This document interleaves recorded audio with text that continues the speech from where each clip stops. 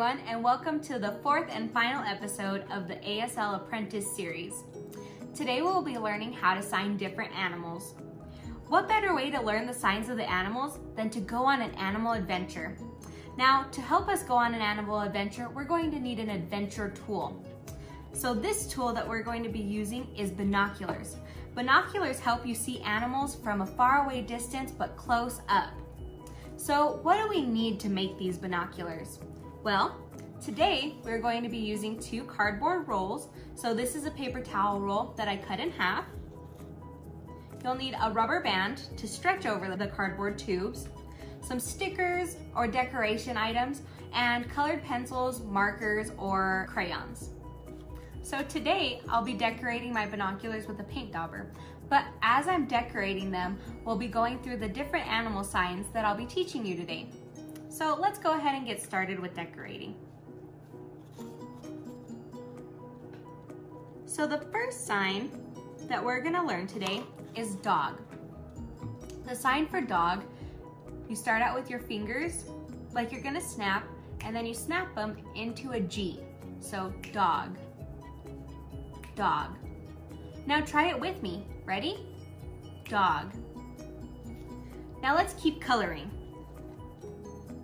So the next sign we'll be learning is the sign for cat. So think about the cat's whiskers when you sign this animal. So this is cat. Ready? Try it with me. Cat. Awesome. Now that we've learned that sign, let's keep decorating. So now, instead of the red dauber, I'm gonna use a different color, just to mix it up a little bit. All right, so the next animal that we'll learn how to sign is bird. So think of the bird's beak when you sign this um, animal. Bird. Bird. Now, let's try it together. Ready? Bird. Now, let's get back to decorating our binoculars. I'll take a different color again this time. And like I said in the beginning, you can use any sort of color to decorate your binoculars. You can use markers, crayons, colored pencils, paint, or whatever you'd like. So the next sign that we'll be learning how to do is horse. So we'll think of the horse's ears when we do this sign. Ready? Horse, horse. Now let's try it together. Ready? Horse. Awesome. Our next animal that we'll learn how to sign is the sign for monkey. So this one, you're gonna use both of your arms and you're just gonna act like you're a monkey, like this. Ready? Now try it with me. And that's the sign for monkey. Now we're gonna add some stickers onto our binoculars. This is just my form of decoration that I wanna use for my binoculars to show them off. The next sign that we're gonna learn is donkey. Now, this sign is similar to the sign for horse, but this time we're gonna use all four of our fingers and pretend that it's our ears. Ready? Donkey, donkey. Now, let's try it again, but try it with me this time. Donkey. Awesome, you're doing great. Now, just keep decorating.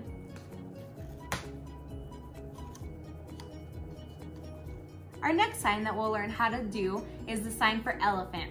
Now this one might seem a little familiar to what an elephant looks like. So elephant, elephant. So this is the sign that resembles the trunk of the elephant. Ready? Now let's try it together. Elephant.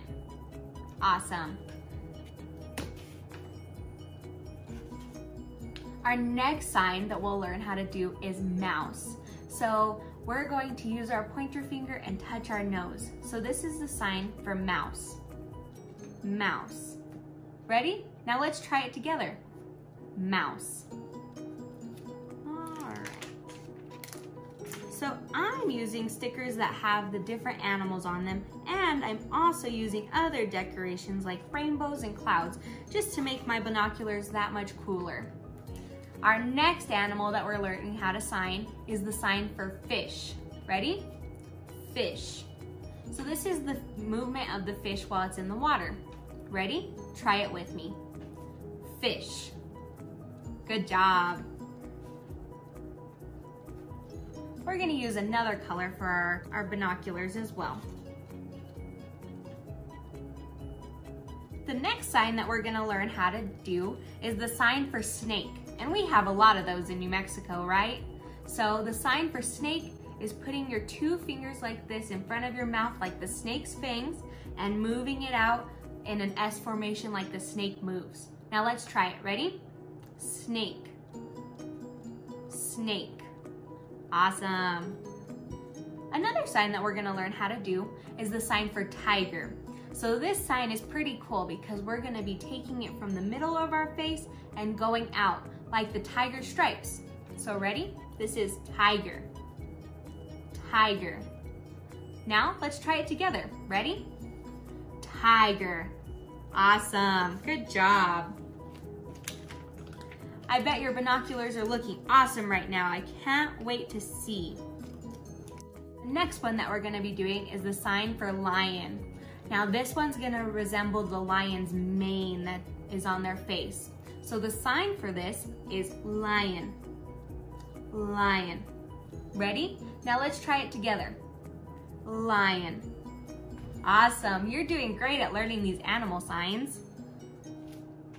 The next sign that we're gonna learn how to do for an animal is the bunny sign. So this one, you're gonna use both of your hands.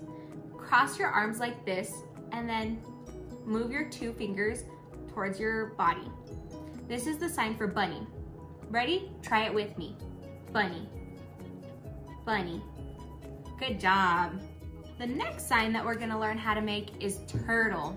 So this one is also gonna use both of your hands. So take your right hand and put it into a fist like this. Make sure your thumb is pointing towards the front of your hand. Then put your other hand on top. So this is like the shell of the turtle and this is like its head. So this is the sign for turtle. Turtle. Now try it with me. Take your right hand, put the left one on top, and move the front of your finger. Turtle. Awesome. Good job. Let's get finished with our binoculars because we're almost done learning. So our last sign that we're gonna be learning is the sign for alligator. Now this one's pretty cool because we're gonna take both of our hands and we're gonna clasp them together like alligator, alligator, like the mouth crunching on the alligator. So we have learned all of those animal signs today and we've also made some very cool binoculars. Our last step is going to be taking the rubber band from our binoculars and putting them together.